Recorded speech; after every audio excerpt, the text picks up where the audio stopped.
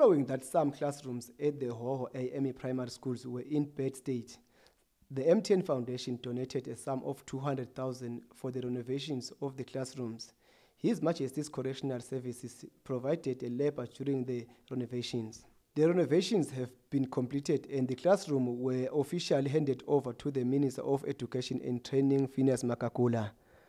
Minister Magagula thanked the MTN Foundation and His Majesty's Correctional Services for ensuring that the project is a success.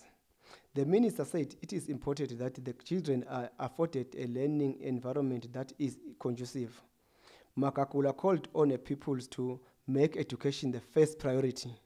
We are gathered today to witness the, the handover of nine classrooms that have been renovated courtesy of the MTN Swaziland and His Majesty's Correctional Services.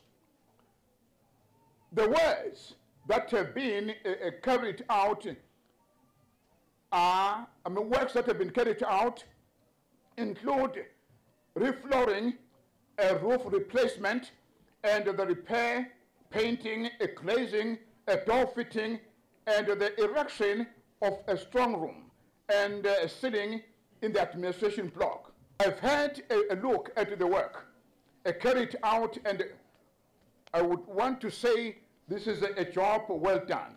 The Minister of Justice and Constitutional Affairs, Edgar Hillary, said they are glad to extend a helping hand through His Majesty's Correctional Service wherever help is needed, in particular in this case where children who are the future of the country are involved. These institutions have partnered to assist in the rehabilitative programs initiated by His Majesty's Correctional Services and aimed at assisting ex offenders to reintegrate into the com- their communities and prevent them from re-offending. His Majesty's Correctional Services conducted the renovation of these dilapidated classrooms in the school and painted it. I'm advised that the furniture we see here was produced by the Carpentry Department of His Majesty's Service uh, Correctional Services. I wish to commend his Majesty's correctional staff and offenders, izivakashi zenkosi, for their commitment and hard work rendered in this initiative.